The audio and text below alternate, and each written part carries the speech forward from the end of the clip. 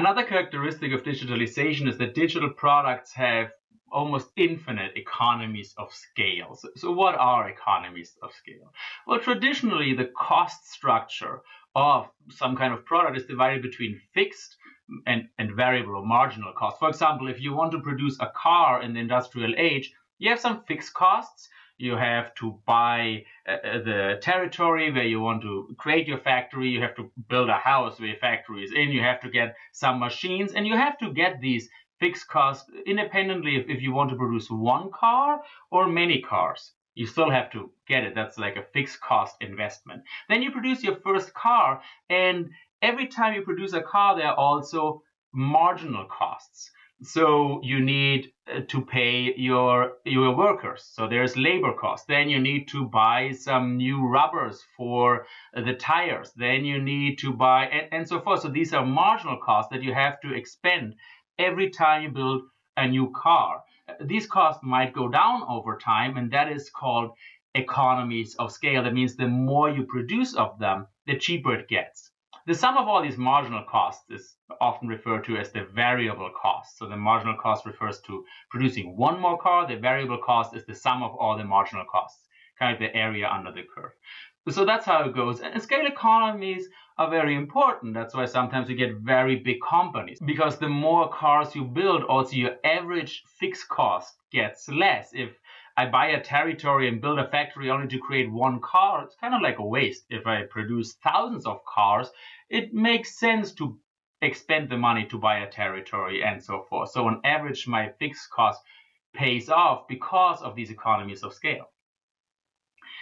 Now in digital products, the cost structure is very interesting.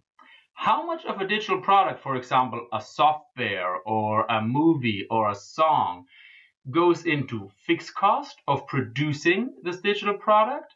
And how much goes into marginal or variable costs in reproducing this digital product?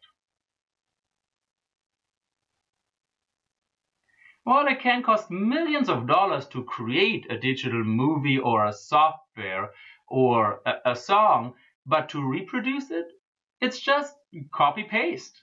There's not really any marginal or variable cost involved.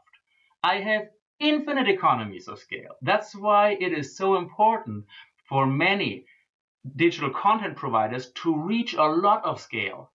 So if you have a video game that costs 300 400 million dollars to produce you want to sell it to as many people as possible because then your fixed cost can be gained back if you just send it to one or two people it, you don't get your money back. And that's why it's so important always to reach scale for digital content provider. And that's why also there is such a big competitive pressure to become the biggest digital content provider because it really pays off. Now, this cost can also be time investment.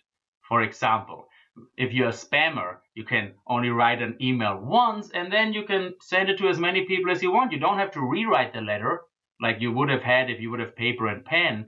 You just have one email, copy paste as often as you want. So that's what is meant by when people say that digital products have infinite economies of scale.